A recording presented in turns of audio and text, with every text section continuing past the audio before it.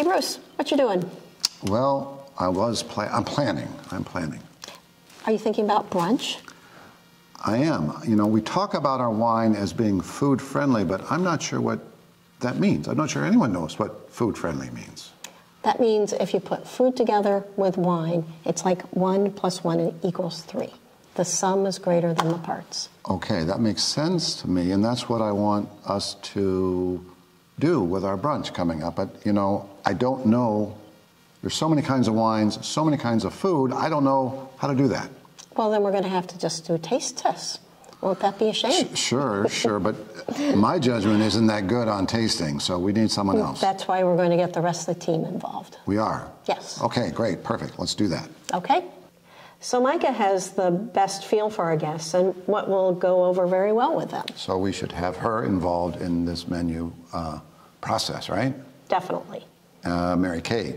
Mary Kate is actually what we consider our super taster.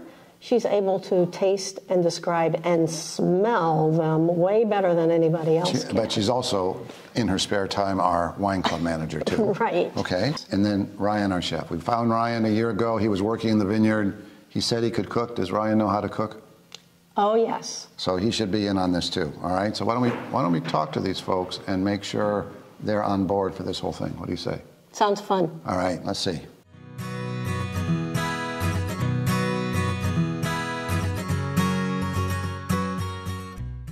So we met with everyone. How do you think it went? I think it went pretty well. You know, not everybody agreed with each other, but we were able to pick five wines that we're going to use Which as the pairing. Those wines are bubbly, 239, Mm-hmm. Right. Cab Franc, Right? Rosé, Rosé, the new one. and 198. Great. Sounds great.